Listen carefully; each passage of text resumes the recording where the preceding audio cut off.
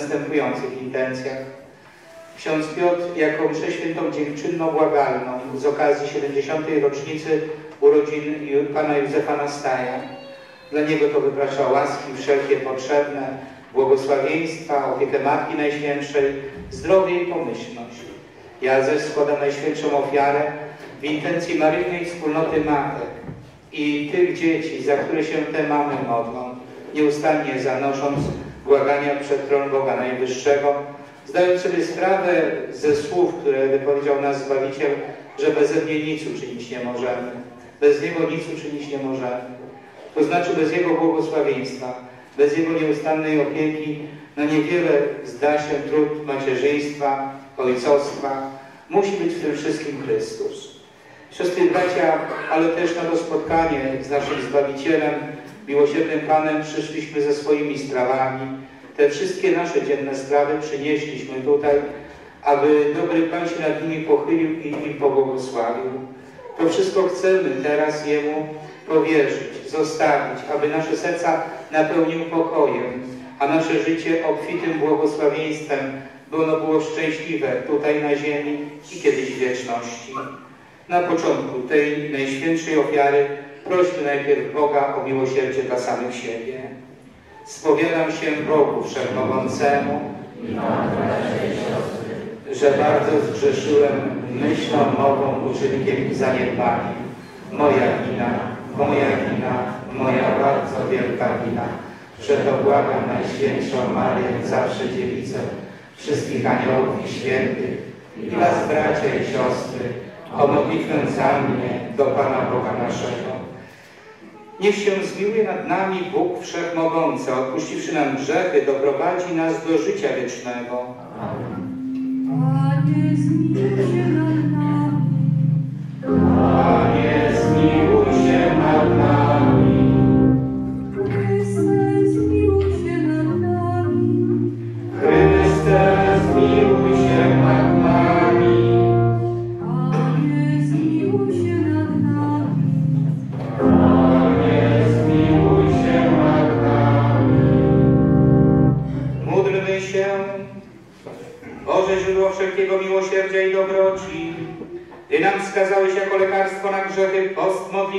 jałmużnę.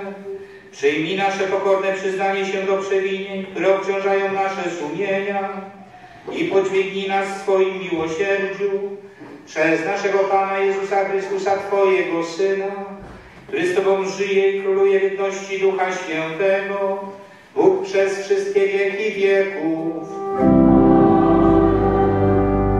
Usiądźmy bardzo proszę i wysłuchajmy czytań z Pisma Świętego.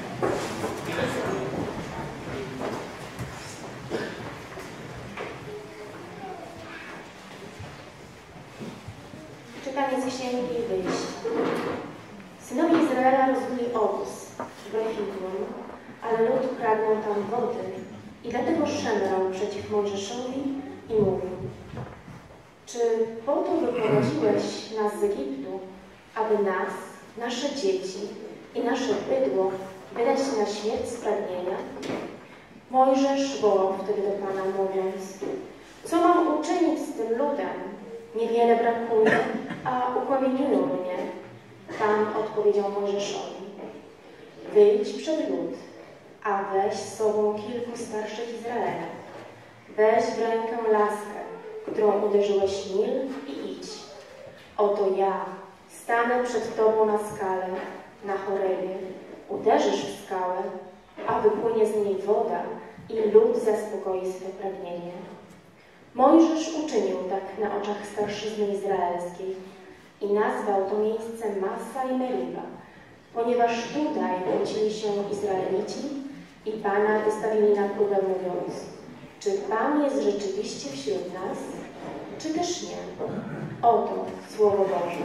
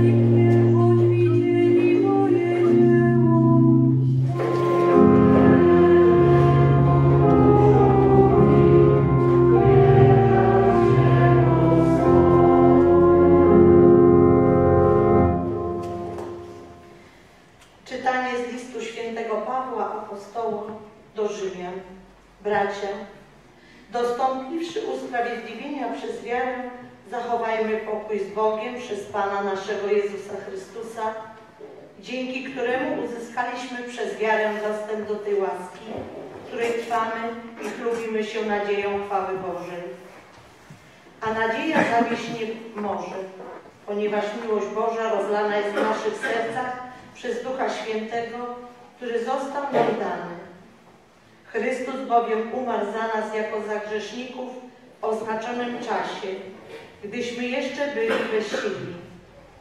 A nawet za człowieka sprawiedliwego podejmuje się ktoś umrzeć tylko z największą trudnością. Chociaż może jeszcze za człowieka życzliwego odważyłby się ktoś ponieść śmierć. Bóg zaś okazuje nam swoją miłość przez to, że Chrystus umarł za nas, gdyśmy byli jeszcze grzesznikami. Oto Słowo Boże. Panie,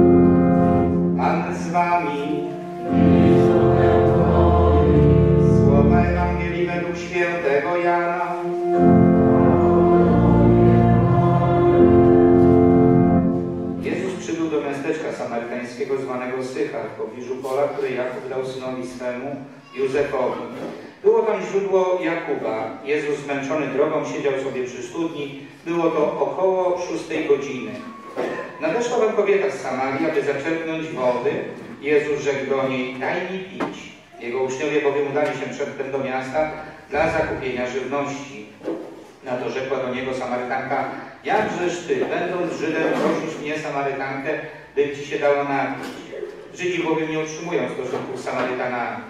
Jezus odpowiedział jej na to, o gdybyś znała dar Boży wiedziała, kim jest ten, który ci mówi, daj mi się napić, prosiłabyś go wówczas, a dałby ci wody żywej. Powiedziała do niego kobieta, Panie, nie masz czerpaka, a studnia jest głęboka, skądże, więc weźmiesz wody żywej. Czy Ty jesteś większy od ojca naszego Jakuba, który dał nam tę studnię, który pił i on sam, jego synowie, jego bydło? W odpowiedzi na to rzekł do niej Jezus. Każdy, kto pije tę wodę, znów będzie pragnął. Kto zaś będzie pił wodę, którą ja mu dam, nie będzie pragnął na wieki. Lecz woda, którą ja mu dam, stanie się w nim źródłem wody wytyskującej ku życiu wiecznemu. Rzekła do niego kobieta, daj mi tej wody, abym już więcej nie pragnęła. I nie przychodziła tutaj czerpać. Idź zawołaj swego męża i wróć tutaj. A kobieta odrzekła mu na to, nie mam męża. Rzekł do niej Jezus, dobrze powiedziałaś, nie mam męża. Miałaś bowiem pięciu mężów, a ten, którego masz teraz, nie jest twoim mężem. To powiedziałaś zgodnie z prawdą. Rzekła do niego kobieta, Panie, widzę, że jesteś prorokiem. Ojcowie nasi oddawali cześć Bogu na tej górze, a wy mówicie, że w Jerozolimie jest miejsce, gdzie należy czcić Boga. Odpowiedział Jezus, wierz mi niewiasto, że nadchodzi godzina, kiedy ani na tej górze, ani w Jerozolimie nie będziecie czci Ojca. Wy czcicie to, czego nie znacie, my czcimy to, co znamy, ponieważ zbawienie bierze początek od Żydów.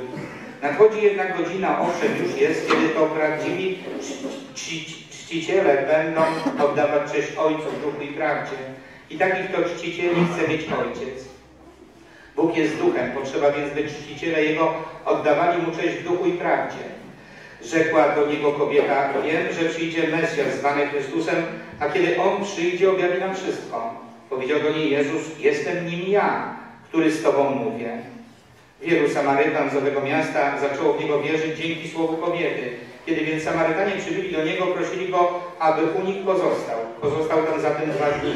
I o wiele więcej uwierzyło na Jego słowo, a do tej kobiety mówili, wierzymy już nie dzięki Twemu opowiadaniu, na własne bowiem uszy usłyszeliśmy i jesteśmy przekonani, że On prawdziwie jest Zbawicielem y, pań- świata. Oto słowo Pańskie.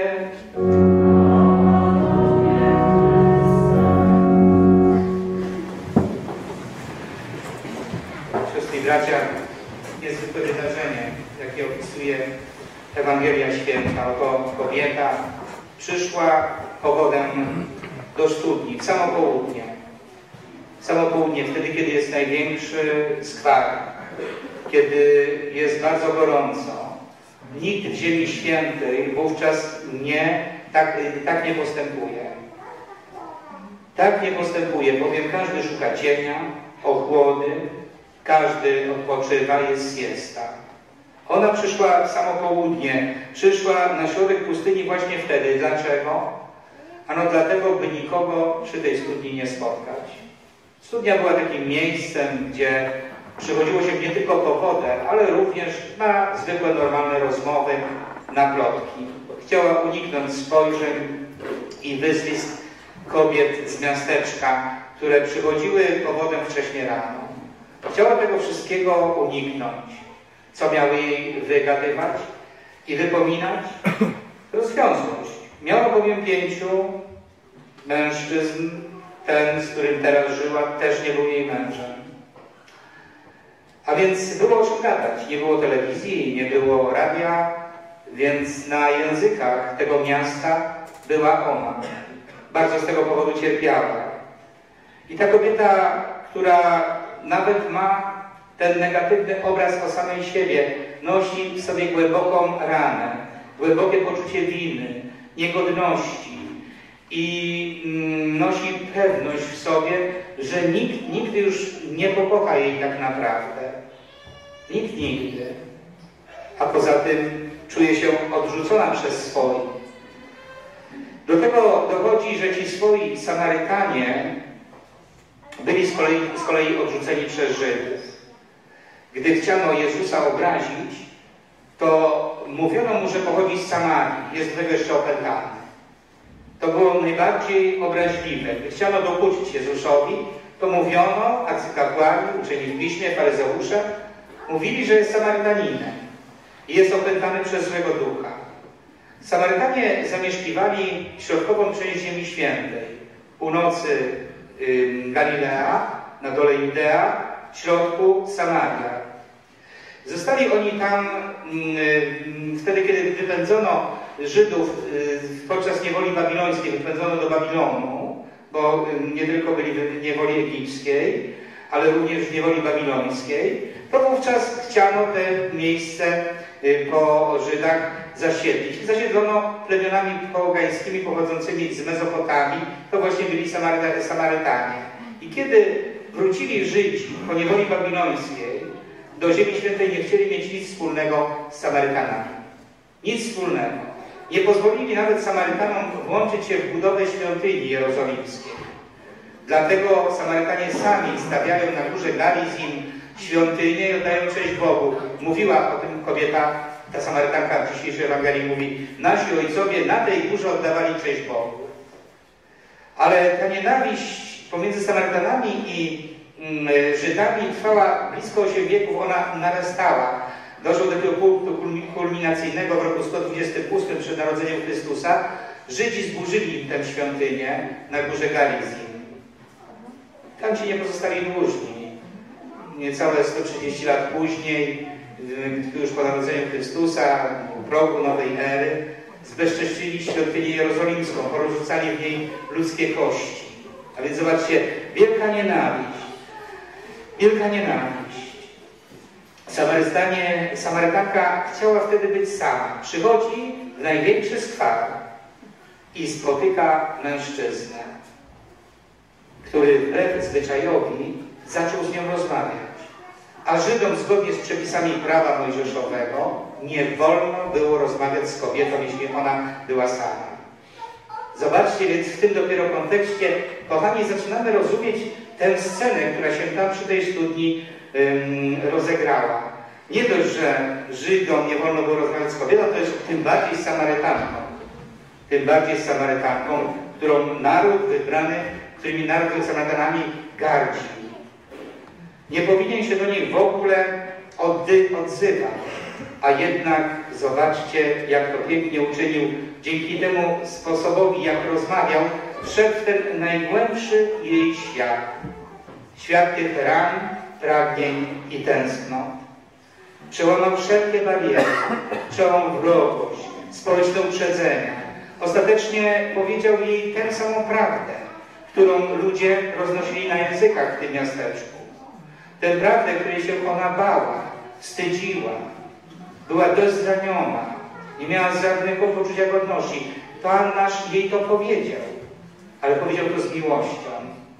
Bo, e, kochani, prawda bez miłości, prawda bez miłości może człowieka zabić. Miłość bez prawdy jest iluzją i kłamstwem, a prawda bez miłości może człowieka zabić.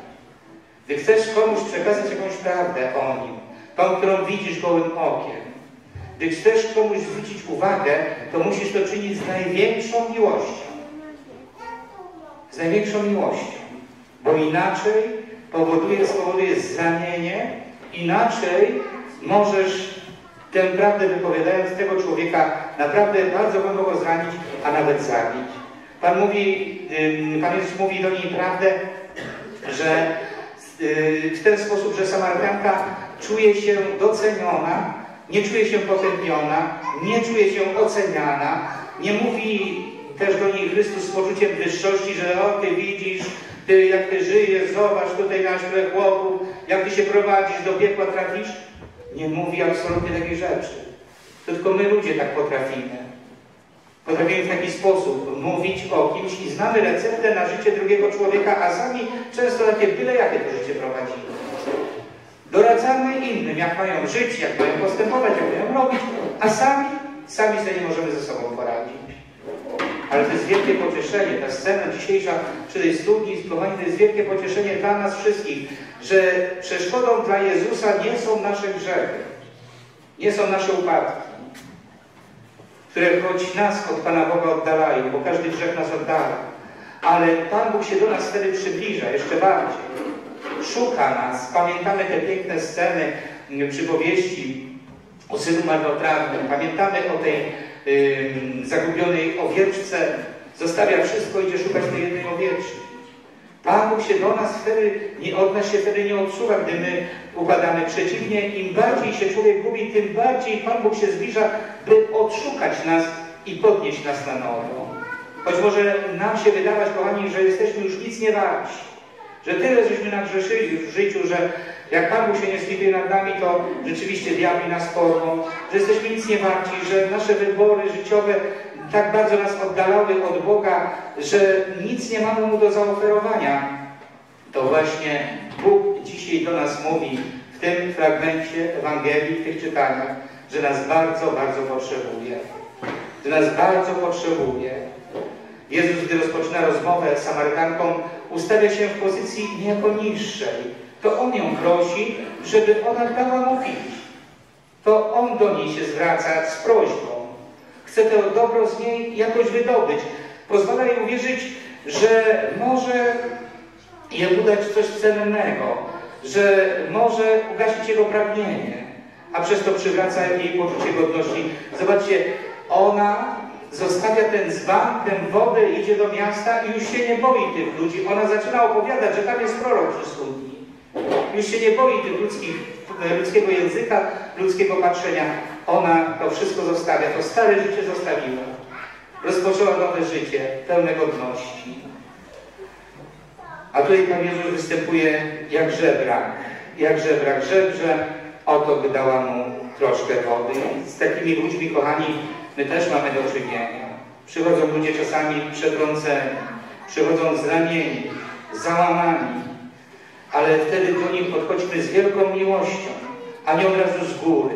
Przez pokorę do nich trafiajmy do ich serc. Proste takie zwyczajne życie nam wskazuje wiele takich okazji. Zobaczcie, tam przy takich supermarketach kręcą się yy, zazwyczaj mężczyźni, ale również kobiety, niektórzy ubrani. Widać od nich i czuć i alkohol, niedomyci. Często proszą tą złotówkę o te parę groszy. I zazwyczaj człowiek daje. Ale są też tacy, co komentują. Idź do pracy, zacznij pracować. Pijaku jeden taki, siaki, owaki. Dość on jest zraniony, żebyśmy jeszcze my do- dokładali do tego pieca, pieca jego zranien swoje uwagi. Przecież Pan Jezus nie podszedł do Samarytanki i nie powiedział jej, słuchaj, się nie nawrócisz, jak nie zostawisz tego chłopa, to trafisz do piekła. I tu nas Pan poucza. Tak mamy podchodzić do człowieka. My wiemy, że te parę groszy on tam przeznaczy na fajki czy na jakiś tani alkohol. My wiemy. Nie wiemy dlaczego tak się stało, że jego życie jest takie, które na, na, nawet byśmy nie nazwali takim porządnym życiem. Nie wiemy, co się stało, co się wydarzyło w jego domu. Być może coś takiego, co sprawiło, że wyszedł na ulicę i zaczął żebrać. Dlatego, kochani, przy takich spotkaniach z takimi ludźmi, poranionymi, z przetrąconymi życiem, kręgosłupem, podchodźmy zawsze z wielką miłością. Tego nas uczy, y, uczy Jezus Chrystus. I w ten sposób On doprowadził Samarytankę do prawdy i przemiany jej życia. Zostawia ten dzban, zostawia stare życie i czuje, że jest potrzebna, przynajmniej jemu, temu prorokowi, jak powiedziała. Spotkały się te pragnienia dwa. Pragnienie Boga, y, by kochać człowieka i jednocześnie, by na tę miłość Jego odpowiedzieć i pragnienie człowieka, by być kochanym. To jest pragnienie każdego naszego serca. Święta Matka Teresa z Kalkuty we wszystkich swoich kaplicach, kap, kaplicach, gdzie siostry przebywają na całym świecie, kazała obok tabernakulum umieścić w języku angielskim napis y, ja pragnę, I trust, ja pragnę, aby siostry patrząc na tabernakulum widziały Chrystusa, tego właśnie przy studni Jakubowej. I aby w każdym człowieku, na którym się pochylą, widziały Chrystusa. To jest pragnienie naszego Pana, naszego Boga, abyśmy tak, siostry i bracia, tak szli tą drogą miłości do Niego i do człowieka, by kiedyś trafić do nieba. To jest pragnienie. Pragnieniem Boga było to, że my żyjemy. Przecież mógł zupełnie kogoś innego stworzyć, mógł nas w ogóle do życia wiecznego nie powoływać. Pragnieniem Boga jest również to, żebyśmy zasiedli kiedyś z Nim w niebie. Jeśli kiedykolwiek czujesz się, siostry i bracie, nieważnym w oczach tego świata, może nawet pogardzanym, to wiedz, że to w ogóle jest bez znaczenia. Dla Pana Boga w całym świecie nie ma nikogo ważniejszego od Ciebie. Dla Pana Boga w całym wszechświecie nie ma nikogo ważniejszego od Ciebie. Amen. Wyznajmy teraz wspólnie naszą wiarę. Wierzę w jednego Boga, Stworzyciela nieba i ziemi, wszystkich rzeczy widzialnych i niewidzialnych i w jednego Pana Jezusa Chrystusa, Syna Bożego jednorodzonego, który z Ojca jest zrodzony przed wszystkimi wiekami, Bóg z Boga, światły ze światłości,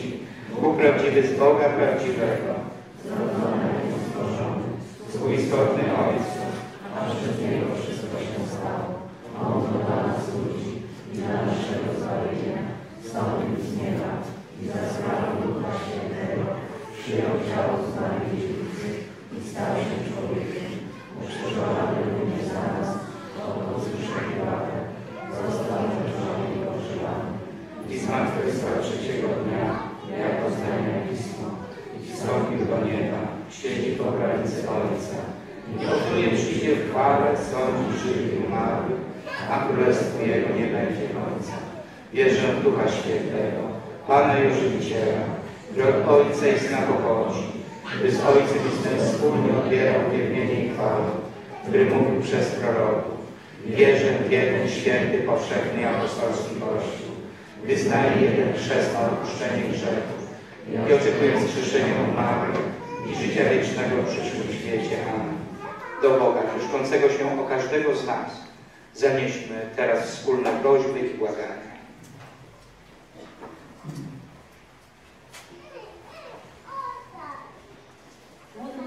Za następcę świętego Piotra, papieża Franciszka, aby wskazywał współczesnym ludziom drogi, na których można spotkać kochającego Boga. Ciebie prosimy. Módlmy się za Maryjną wspólnotę matek, aby matki ją tworzące nigdy nie ustawały w wytrwałej modlitwie za swoje dzieci. Ciebie prosimy. Módlmy się za y, Józefa Nastara z okazji 70. rocznicy urodzin, aby Pan obdarzył go wszelkimi dobrami, łaską, opieką, błogosławieństwem. Ciebie prosimy. Módlmy się za tych, którzy nami rządzą i sprawują sądy, aby z powodu pychy i chęci zysku nie krzywdzili ludzi. Ciebie prosimy. Módlmy się za samotnych, chorych i cierpiących, aby w Zbawicielu znajdowali otuchę do mierzenia się ze swoją trudną sytuacją, a dobrzy ludzie przyszli im ze skuteczną pomocą. Ciebie prosimy. Módlmy się za naszych zmarłych, aby w niebie mogli wiecznie oglądać chwałę jednorodzonego Syna Bożego i wszystkich świętych. Ciebie prosimy. Módlmy się za nas tu zgromadzonych, abyśmy w każdym człowieku widzieli swojego brata, za którego Jezus Chrystus oddał swoje życie na krzyżu. Ciebie prosimy.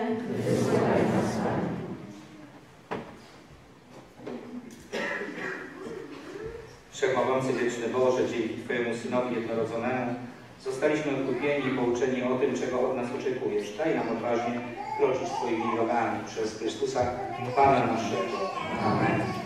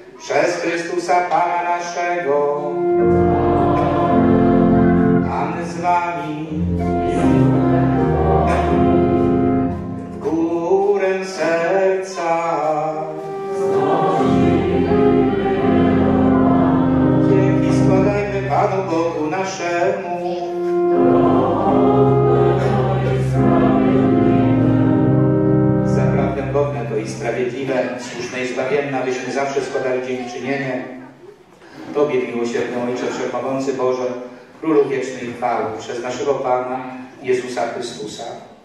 On, prosząc Samarytankę o podanie wody, już ją obdarzył łaską wiary.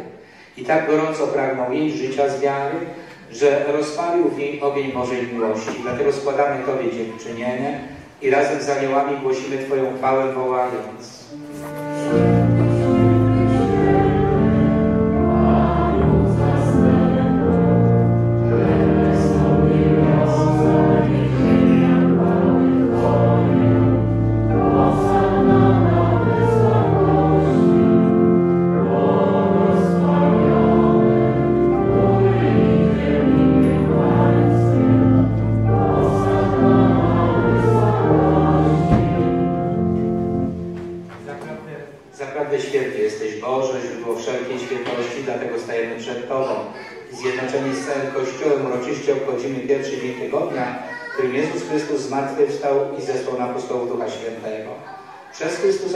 Ciebie, Wszechmogący Boże, uświeć te dary mocą Twojego Ducha, aby stały się dla nas ciałem i krwią naszego Pana Jezusa Chrystusa. On to, gdy dobrowolnie wydał się na mękę, wziął i dzięki Tobie składając łamał i rozdawał swoim uczniom, mówiąc Bierzcie i jedzcie z tego wszyscy, to jest bowiem ciało moje, które za Was będzie wydane.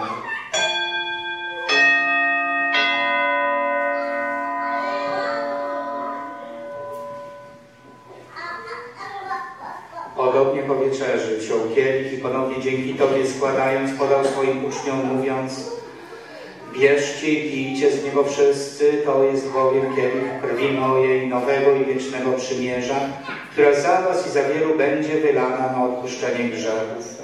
To czyńcie na moją pamiątkę.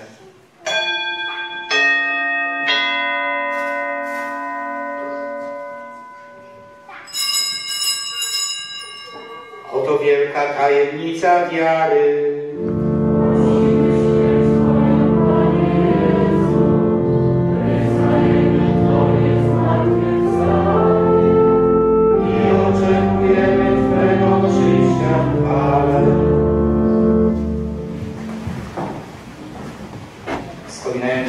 Zmartwychwstanie Twojego Syna, ofiarujemy Tobie Boże, chleb życia i kielich zbawienia i dziękujemy, że nas wybrałeś, abyśmy stali przed Tobą i Tobie służyli. Pokornie błagamy, aby Duch Święty zjednoczył nas wszystkich, przyjmujących ciało i krew Chrystusa. Pamiętaj Boże o Twoim Kościele na całej ziemi. Spraw, aby lud Twój wzrastał w miłości. Razem z naszym papieżem Franciszkiem, naszym biskupem Andrzejem oraz całym duchowieństwem. Pamiętaj także o naszych zmarłych braciach i siostrach, którzy zasnęli z nadzieją zmartwychwstania i o wszystkich, którzy w Twojej łasce odeszli z tego świata. Dopuść ich do oglądania Twojej światłości. Prosimy Cię, zmiłuj się nad nami wszystkimi i daj nam udział w życiu wiecznym z Najświętszą Bogu Rodzicą, Dziewicą Maryją, ze świętymi apostołami i wszystkimi świętymi, którzy w ciągu wieków podobali się Tobie, abyśmy z nimi wychwalali Ciebie przez Twojego Syna, Jezusa Chrystusa. Przez Chrystusa, z Chrystusem i Chrystusie, Tobie Boże Ojcze Wszechmogący, w jedności Ducha Świętego, wszelka cześć i chwała przez wszystkie wieki wieków. Prośmy Ojca Niebieskiego, aby odpuścił nam grzechy i zachował nas od złego.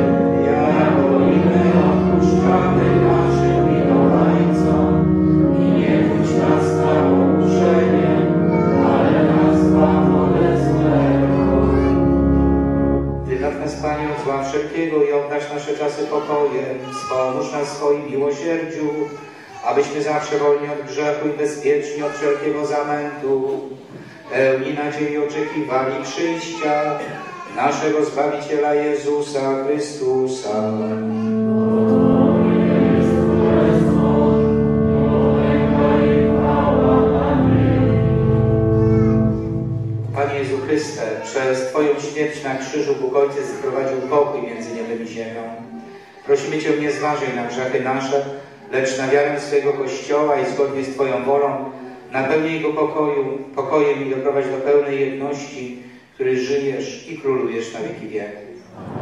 Pokój Pański niech zawsze będzie z Wami. Przepraszam, system pokoju, pokój nam wszystkim.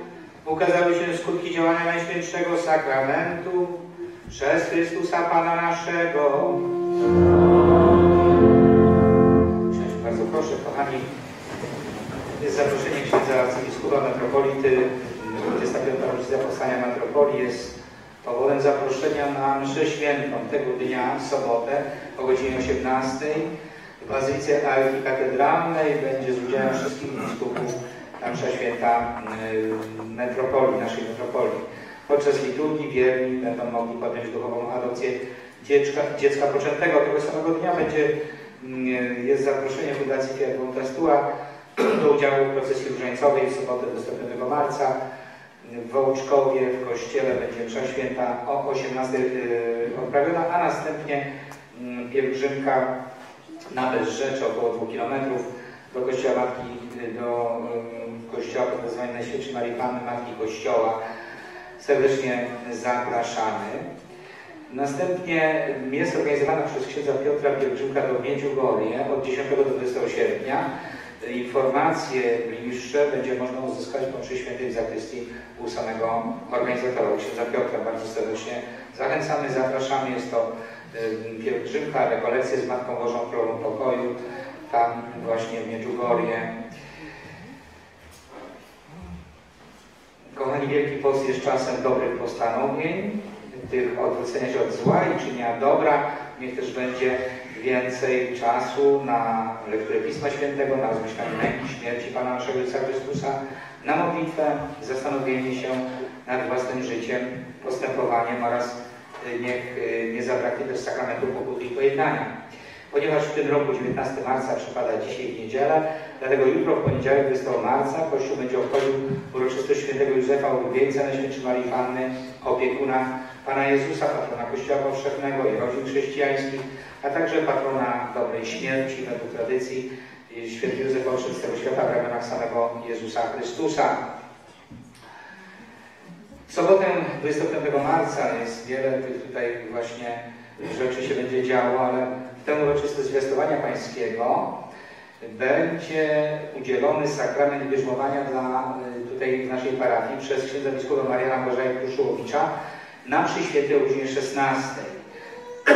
Więc serdecznie zapraszamy. Nie będzie już mszy świętej o godzinie 18, tylko o 16 sakrament bierzmowania. W związku z tym wydarzeniem serdecznie zapraszamy kandydatów do bierzmowania. W czwartek od godziny 17 jest dla Was spowiedź. Później również będzie spowiedź w piątek od godziny 17. O 18 msza święta, konferencja dla Was, następnie próba, a w piątek o 19 droga krzyżowa i też próba generalna przed sakramentem bierzmowania.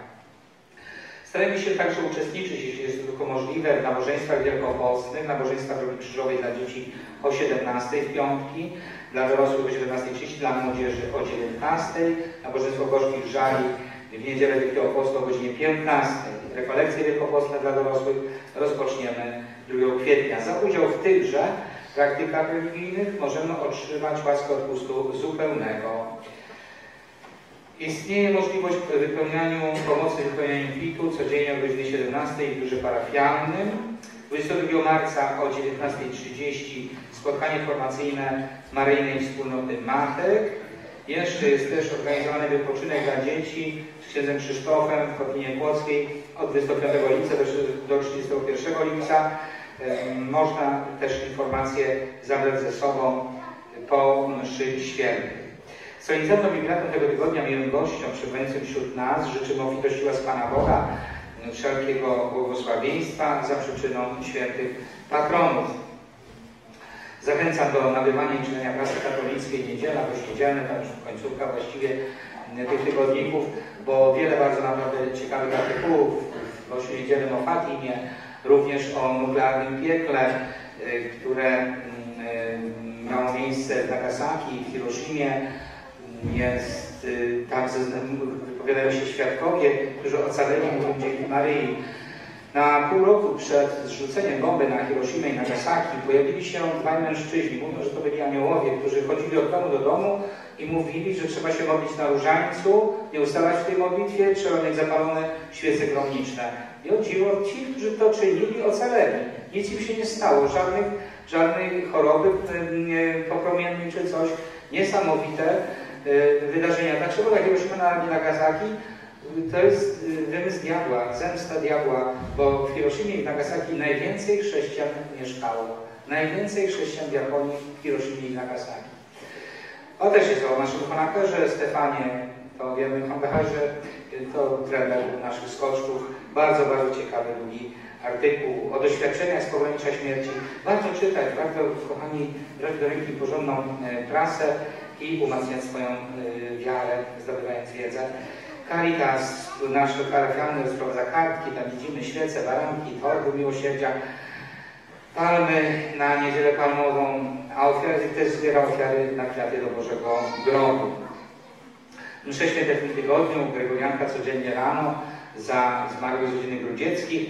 Jeszcze dodatkowa msza święta rano w czwartek za Grzegorza Oczowskie zmarłego i y, w sobotę rano dziękczyną błagana ewidencji Pawła Czernieckiego z okazji 22 rocznicy urodzin. A wieczorem w poniedziałek za Mirosława Korydowicza i Walentyna Aleksandra, Aleksandra Korydowicz, doktorek dziewczyną błagana ewidencji Maksymiliana Żmińczuk z okazji 43 rocznicy urodzin. W środę dziewczyną błagana w intencji rodziny państwa sieni Walerianów. W czwartek wieczorem w intencji Kaspra Rajman z okazji 8 rocznicy urodzin. W piątek pierwsza rocznica śmierci Józefa Kazimierowicza. No i msza święta o 16 w sobotę z sakramentem bierzmowania. W przyszłą niedzielę o 7 rano za Gregorianka za zmarłych z rodziny Grudzieckich. O 9 dwie msze święte, dwie intencje, intencję łaskę zdrowia dla Jerzego Boguckiego oraz szczęśliwy przebieg operacji błogosławieństwo Boże. Drugie za zmarłych z rodziny Zagajewskich, Michała Helenę i zmarłych z rodziny. O 10.30 o szczęśliwe rozwiązanie dla Małgorzaty Sokół i Bożą opiekę na ten czas oraz ze świętej pamięci Leonorę Rybicką, y, też urodzinowa. O 12 dziewczyną w intencji wszystkich z rodziny i znajomych, którzy modlili się o zdrowie dla Czesława. O 13.30 dziewczyną w intencji rodziny Kolana, o Boże łaski i błogosławieństwo, to jest intencja rodziny państwa pucharskich. O 16 za zmarłych z rodziny Wierzchała, Halina i Stefan. O 18 za Henryka Wysockiego, pierwsza rocznica śmierci. O 19.30 za zmarłych Katarzynę i Bogdana. Kochani, serdeczny Bóg zapłać za wszelkie dobro, za modlitwy, za życzliwość, ofiary, dzięki którym możemy kontynuować budowę nowej świątyni i wiele dzieł czynić miłosierdzia. Dziękujemy za ofiary złożone na misję wysokości 1350 zł. Te pieniądze zostały y, przesłane. Za tydzień katastrofa, przesunięcie czasu zimowego na letni, godzinę krócej śpimy. Po prostu trzeba będzie szybciej spać i tyle. Bóg zapłać za wszystko. W tym tygodniu zmarli stanęli przed miłosiernym Bogiem Jadwiga Piekoszewska, zamieszkała przy ulicy Rusałki. Pogrzeb odbył się w czwartek o godzinie 11. Jest pochowana na cmentarzu na Zmierzynie oraz świętej pamięci Włodzimierz Jaszczembowski zmarły, mieszkał przy ulicy Dęczowej. Również pogrzeb był w czwartek o godzinie 13. Też jest pochowany na cmentarzu w Mierzynie. Pani Jadwiga miała 85 lat, pan Włodzimierz 52 lata. Odpoczynek racz im dać Panie. Niech odpoczywają w pokoju wiecznym. A czcigodnemu um, solenizantowi, za którego była składana Najświętsza ofiara, panu Józefowi, nastaj. Życzymy, życzymy, życzymy.